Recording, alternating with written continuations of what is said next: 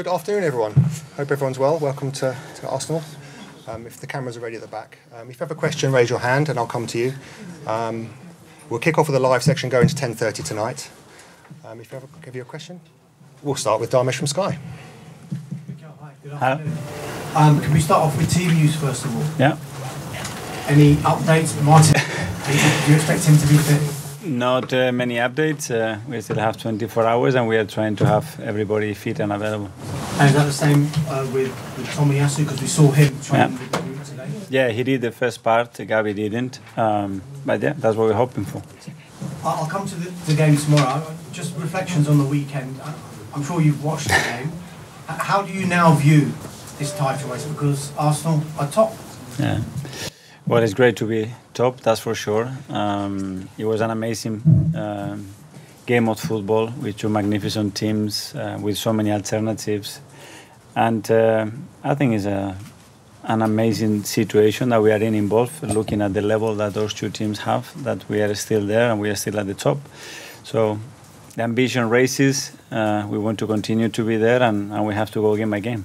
After Saturday, you, you talked about how the players wanted to win that game for Aaron Ramsdale. Yeah. Could you just describe, as a result of that, how much the group has galvanised and, and describe the bond within that squad just now? Uh, the unity around the players is, is amazing because it's organic, it's natural. Um, they really feel for for each other, and uh, and when they had opportunities to do something um, to make somebody look better or or or, ma- or getting them out of trouble, um, they are all ready to do it. And, and it was a great example again of, of the um, of the quality of, of the team and people that we have within there. It was your eighth Premier League win in a row. It was 33 goals in that time as well. And yet, in the middle of that, this is anomaly of that Porto game when you didn't actually have a shot on target. What do you think you'll have to do differently on tomorrow night compared to what happened out there? Yeah, we're certainly going to have to tweak a few things um, to generate much more than, than what we did uh, against them. But um, yeah, it's, it's the level of the Champions League. Um, you're facing top teams. Um, the fact that there are two games as well plays a little bit in, in your mind, and, and we're going to have to be better tomorrow. Just a final one for me, Mikel. Arsenal haven't reached the quarterfinals of the Yeah. competition since 2010, which seems incredible. What would it mean to you to guide the team into the last eight, and what would it do for the club and their standing around Europe to do that? That's the opportunity that we have tomorrow in front of our people in our stadium for 96 minutes. Uh, bring your energy, bring your noise, and uh, let's do it together. Thank you. George from the BBC. Mikel, you just on that you've referenced it again about the, the fans, and you said the stadium having the night of its life. Mm. Do you think the, the fans are going to have to, because it's going to be a tough game? Do you think they're going to have to? It's, it's almost they really see you over the line. I think the impact that they can make tomorrow it's incredible. I don't think that they realize. Um, so we need that. We need that noise. We need them playing every single ball with us, and we need that emotional control as well. You know, to understand that the game can go through certain phases, and we have to be really intelligent to push in the right moments to get what we want. But it's a beautiful opportunity to live those nights. It's been 14 years, so everything that we put in there is, is going to be worth it. As a manager, what does it feel like on the touchline when you hear the crowd picking up and the players? They seem like reacting to it. that I want to go there and play, you know, and and that's the feeling that we have. That is is a joy to be part of of this club, to be part of um, these kind of games, and and tomorrow is going to be a, a great night. And what have you learned and the players learned from Yeah. that Porto match when you look back at it? Because they really slowed it down. There was lots of Mm. fouls in the match. You had more possession, but they sat back. So, what have the players learned? And I know Saliba said that they need to be a bit more smarter. I just wondered how you transmitted that to them Yeah, this week. every every week, every opponent has his. Um, his strengths, his weaknesses, and, and in the way of they approach the game. And um, and now we know a bit better. Uh, we played these kind of games many many times in the Premier League. We played one three days ago. Um, so we just focus on, on being ourselves and do more of the things that we can control better than we did um, a few weeks ago. And just one more. I mean, this could be an unbelievable week for you. That you could be in the quarterfinals of the Champions League and you could be top of the league. I mean, with ten games to go and plus more in the Champions League. I mean, this could be a thrilling end to the season for Arsenal. Yeah, we have to make it happen tomorrow, and uh, we're going to have to be very good to to achieve that. Okay, Mark from PA. Time ago. You Hi. talk about the fans having to be emotional and, and show passion and things like that, but for your players on the pitch, does there have to be a certain level of controlling that passion and emotion? For sure, but uh, obviously the game, the game context is very important, um, and we know that we have a, a long match to play, and it can be moments where uh, it can go your way, and uh, moments that uh, that can change dramatically quick, and that's the Champions League as well. So emotionally, you have to be very prepared to play those kind of games. We spoke to you in Portugal about this, the lack of experience in your squad. So how Mm. important is it ahead of tomorrow that you can call on Jesus and Zinchenko and players that have actually experienced it? Yeah, well, unfortunately, we haven't had them for long periods uh, this season. Uh, the same like someone like Thomas as well. But um, it's what we have. We have others as well. We learn with the experiences of, of playing those games, and uh, the boys will be ready tomorrow. And if, if you wanted to, I know you wouldn't, you wouldn't say, but uh, are they fit enough to maybe start tomorrow, or is that something? Would it would we like to see them on the bench again? Well, everybody that is available, I think, has to has to be available enough to play because you might have to play after five minutes or from the start, and uh, the boys are in a good place. Kaya? Hi. You mentioned before about making you want to be a player again, the, the atmosphere. I just wondered, what are your best memories as uh, of these European nights when you were playing? Well, I have a few. Um, the one we played here with Barca, with Bayern Munich as well. It was it was an amazing night as well when we had to do a comeback against Milan.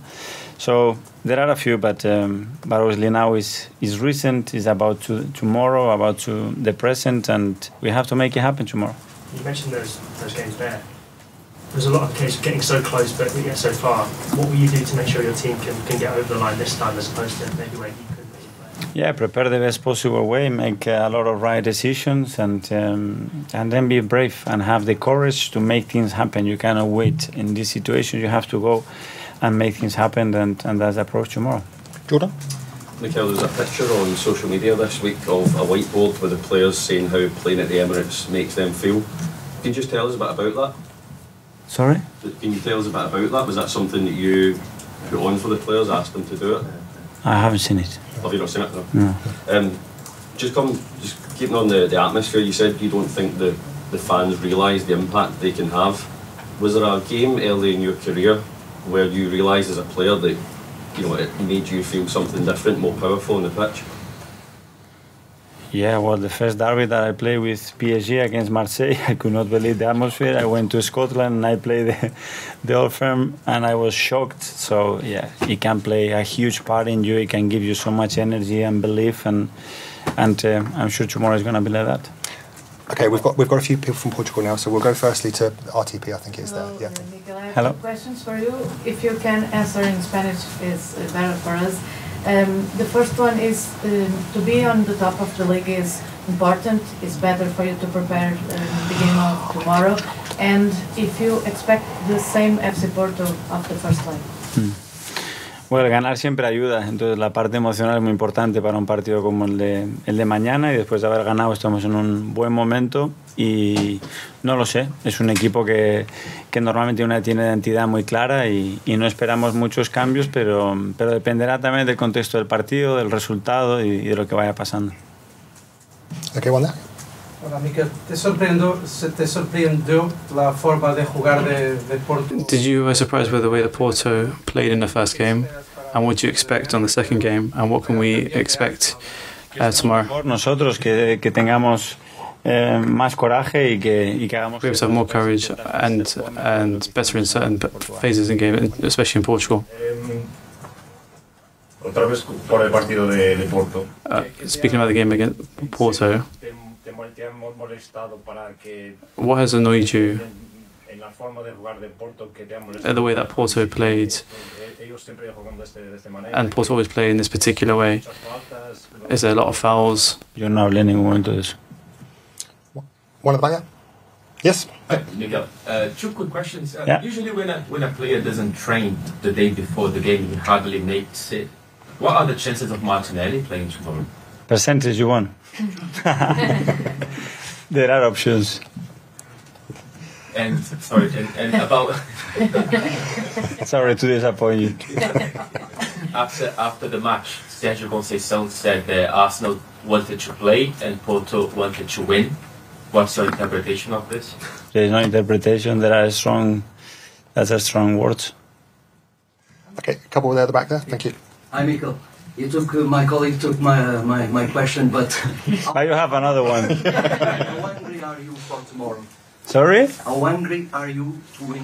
For Yeah, now a lot because I haven't had my dinner still, and uh, we, we have to achieve something we haven't done for 40 years. So you can imagine.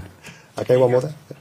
Hola. Sabemos de la Premier, pero eh, hoy aquí, eh, enhorabuena. ¿Qué puedes decir acerca de los jugadores de Porto? Eh, What can you say about the Porto players? Um, are, you, are there any in particular uh, of uh, playing Porto tomorrow? They have really good players. They're, players who are very organised and trained well, and they're so very competitive, and they're a great team. I wanted to ask you, uh, the Premier League is very important, but the last couple of years of Arsenal, how important is tomorrow's game? Yes, the, not to deprioritize the Premier, but there's obviously big objectives in the club.